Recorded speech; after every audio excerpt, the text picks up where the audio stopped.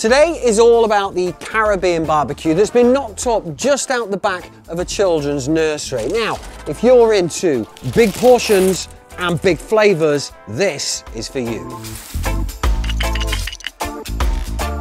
Rakeem, Hello. How are you, man? I'm good, I'm good. thank you for having us down today. No, you're welcome. Thank you for coming Knights Barbecue. I know we're in for a treat because I know you've been cooking for a long time. Yeah.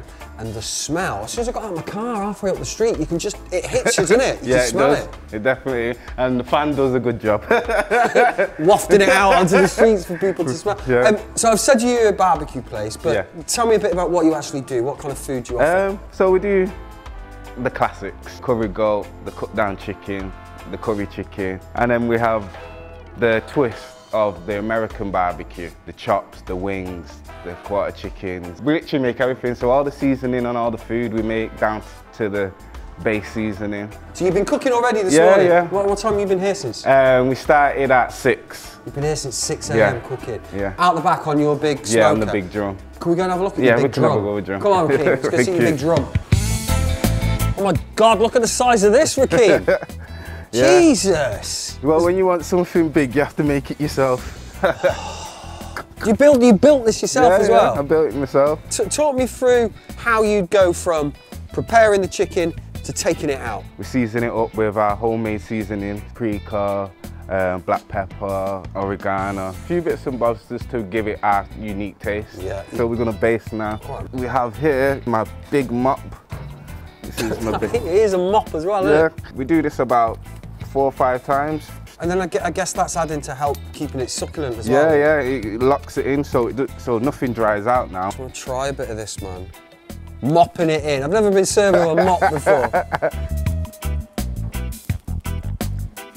wow. That gives it the kick, but still has the sweetness to it. There's a spice to it, but as, as you said to me earlier, it's not it's not going to blow your head off, is Yeah, it? we're in the middle of getting it bottled because we get asked every day, "You- you got the sauce? And what's in the sauce? Can you tell me? Um, it's kind of top secret, but because my mum's watched me work and she she pays attention. She said, "Oh, we're having a barbecue." at the back." I said, "Oh, what sauce is that?" Try the sauce. It tastes a bit familiar. like, oh yeah, I just made what you usually make for yours. No way. so she's nicked your secret sauce.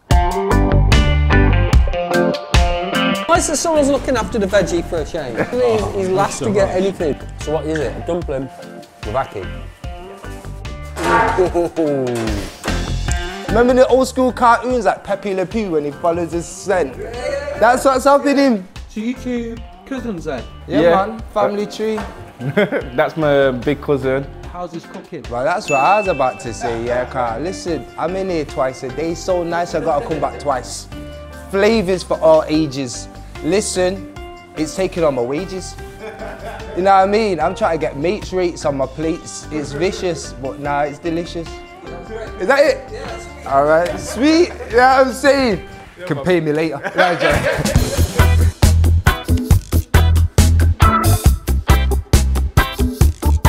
Let's go. Look at this. Yeah, let's go. Where are we going to start though, man? Um, we can start with ackee and Callaloo dumplings because there's nothing quite like them. Inside we've got what we call Callaloo. It's like spinach. That's pretty special. Is, is this the sort of stuff that, that you grew up eating? Family yeah, kitchen? yeah. So my nana, her house was a kitchen. It wasn't a house. She went there. Most of us went there to eat, but she didn't. She didn't just cook for us. She cooked for, like, if there was 15 lads out on the front of the house, everyone's getting a wings. Are you seeing that there, Tom? I mean, look at this. Explain what a split is. Well, split is a fried dumpling, what we usually have on the side of our traditional dishes. It's like a cross between a burger or a sandwich, but with dumpling rather than bread. What are you saying here, man? So I'll just Yeah, fucking just go in. Go in. in the fried chicken, that's based with our own fried chicken batter.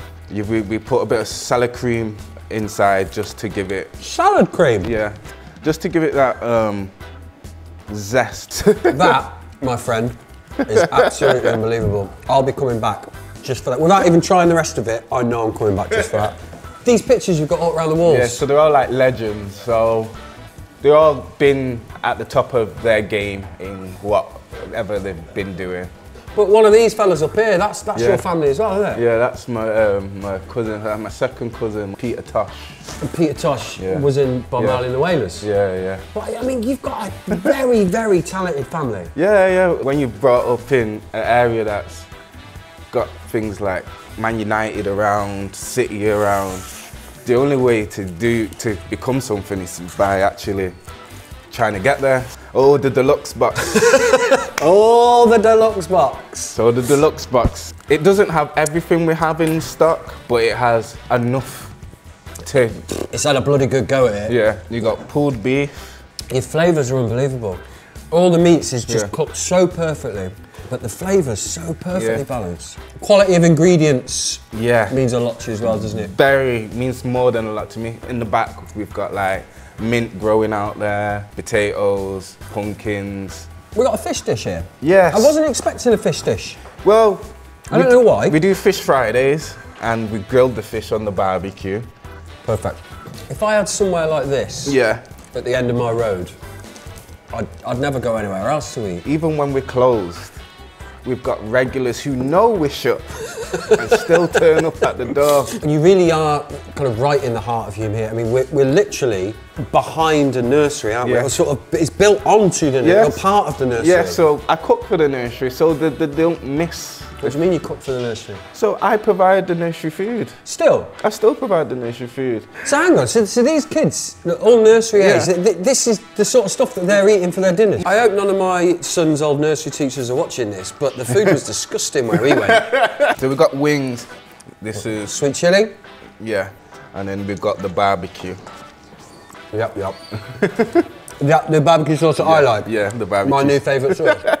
Have you got security cameras in here? I do. Because that's, that's coming home. If that's missing later, don't check security cameras, whatever you do. So lamb chops. Yeah, I'll join you with the chop. All right, cheers, man. I think it's, it's worth pointing out Ooh. that earlier, just before we sat down to film, some guy came in. I don't, I don't think he'd been in before. No, he's never been in. And then he saw the chops. He said, oh, what's that? He went out, he bought the chops, went out, ate them, came straight back in and brought Yeah. another portion. Absolutely loved them. Mm. That's why, man. I think we can just stop talking now. Yeah, yeah, I'm just done for a minute. Yeah, give me a minute. Yeah. Give us both a minute. Cheers, lads.